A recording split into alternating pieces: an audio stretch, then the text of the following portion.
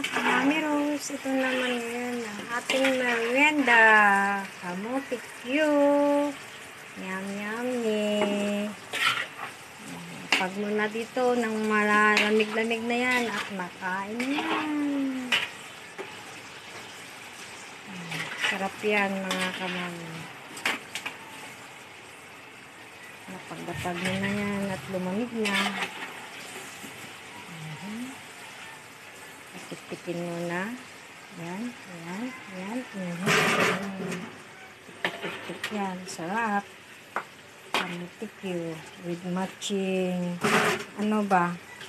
Coffee or Coke.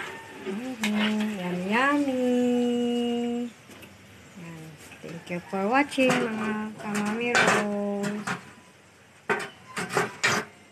Merienda kamutik you.